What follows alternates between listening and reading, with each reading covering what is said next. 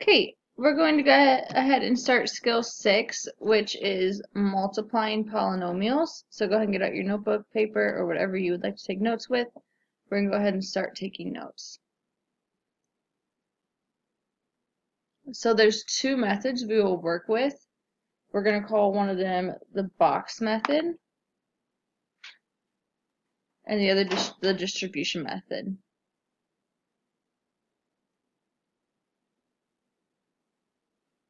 So we have box method and distribution method.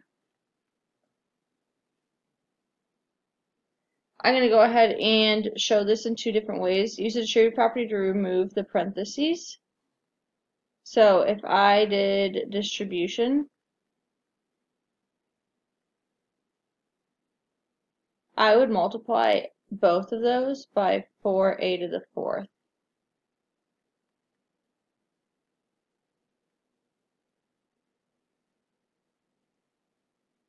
So like everyone on the inside, the parentheses got a 4a to the fourth. And then I'd simplify that 24a to the fifth, 12a to the 13th. If I did the box method,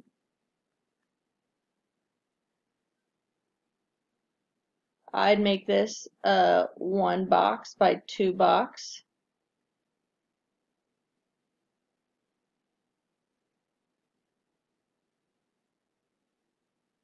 And then inside the box is multiplying those. So that's a to the fifth, 6, 12, 18, 24.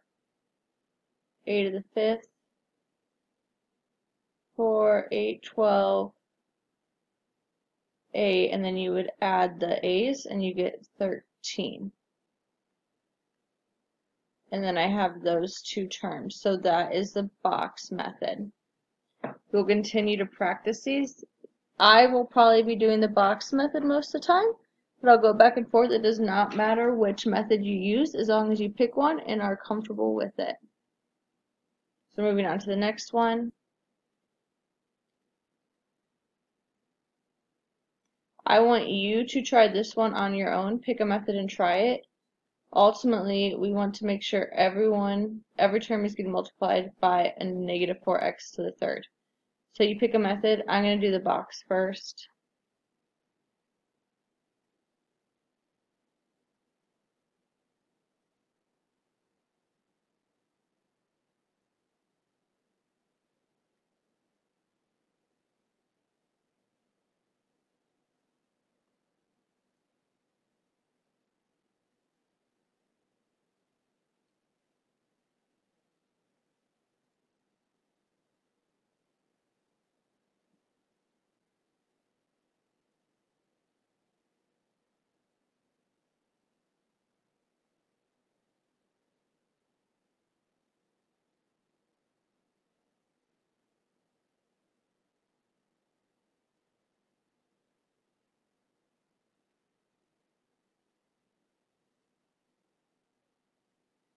Or if I did distribution, I would multiply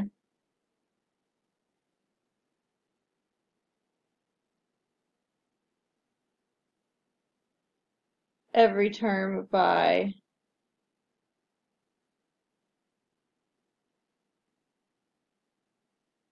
this negative 4y to the third.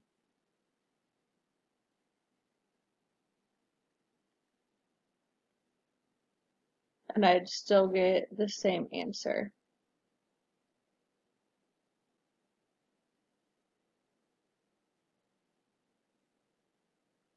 So I'm probably only going to do one method from here on out. Or this will be the last, yeah. I'm only going to do one method here. I'm going to do box. You guys can pause and do this on your own. It's pretty simple.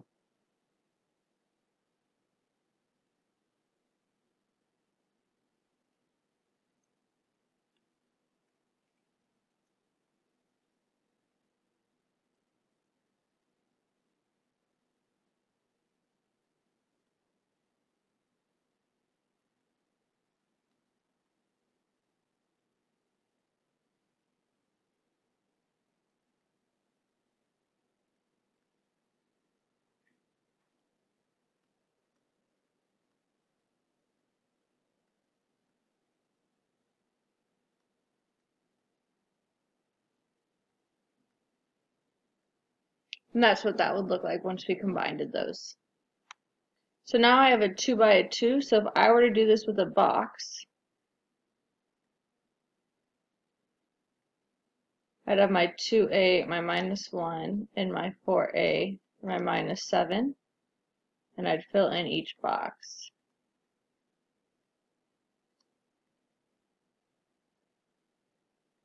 So then when I write these out, I try to think about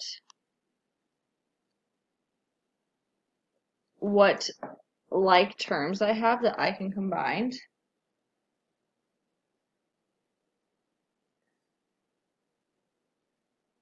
Those are both like terms because they both have an A.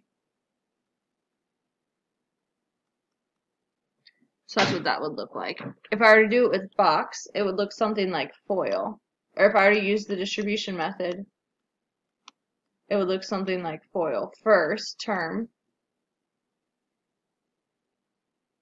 So that's where you get the first outer terms,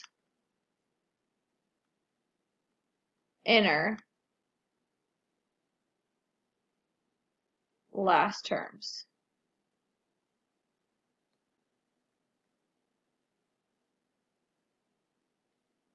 And I'd get the same 8a squared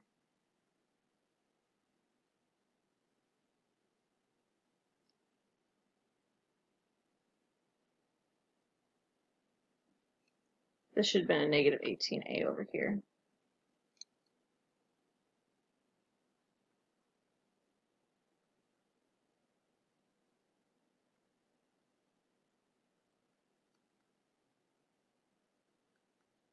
And that's what that ends up looking like. These I can rewrite as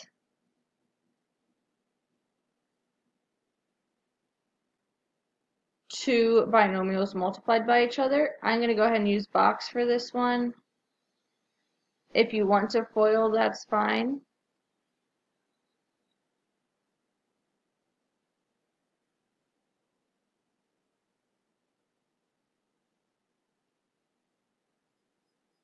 Um, and then I'm going to have you guys try the other one in a second on your own.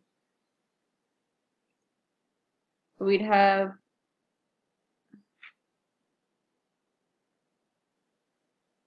Once again, we can combine like terms here. These are both W's, so we can easily combine those. I want you guys to pause your screen, try this one on your own. If I were to box that, U and 7, U and 7,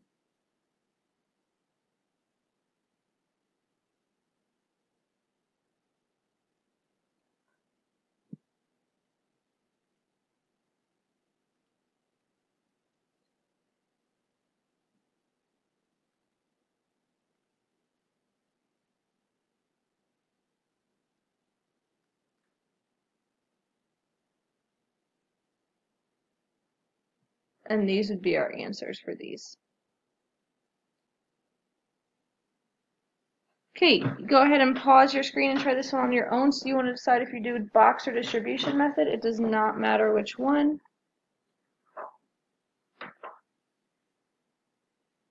I am biased to the box method, so I'm going to use the box.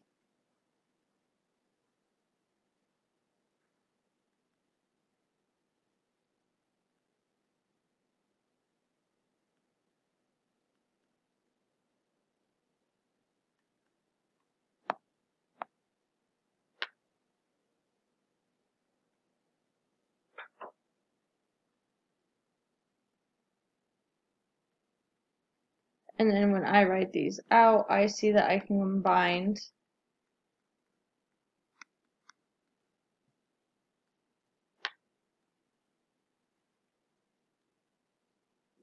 those two A's. And this is what I get as my answer. Okay, now we have a three a trinomial by binomial, so three terms by two terms. If I were to do this as a box, I'm going to do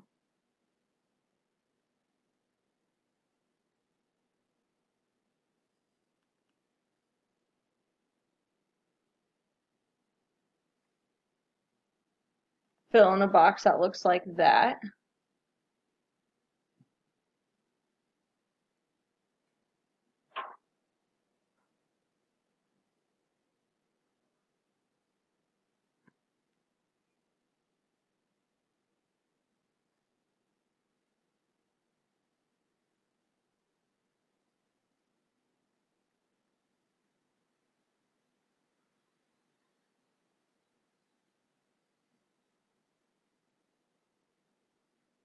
And then I'm just going to rewrite this and think about which ones I can combine.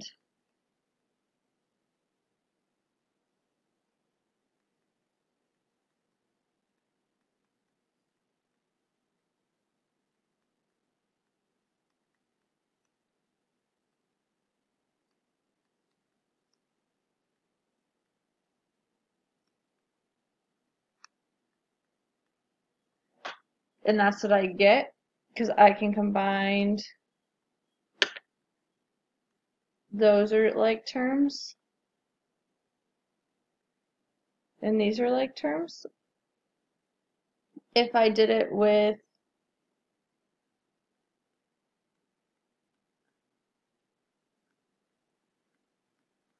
FOILing or distribution, I would give everything a y a 9y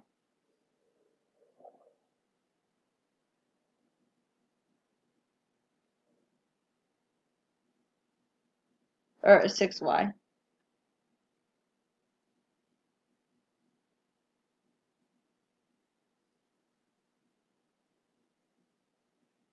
And then I give everything a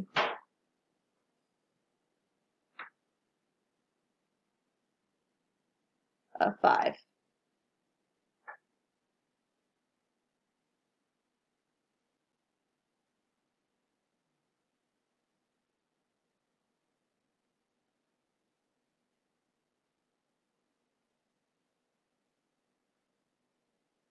So I'd have plus 5 times 7y squared plus 5 times 4y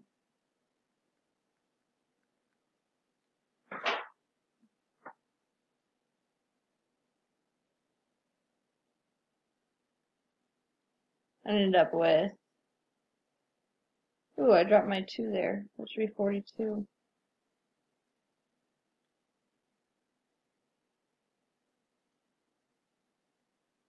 I'd end up with the same answers as the other side. It just looked a little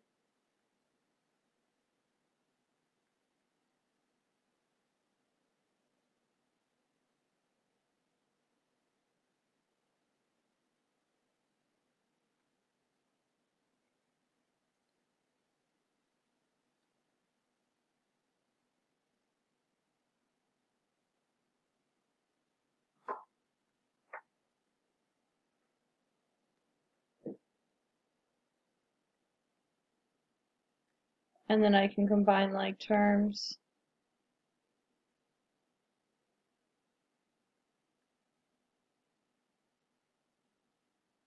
I ended up with the same answers on both sides.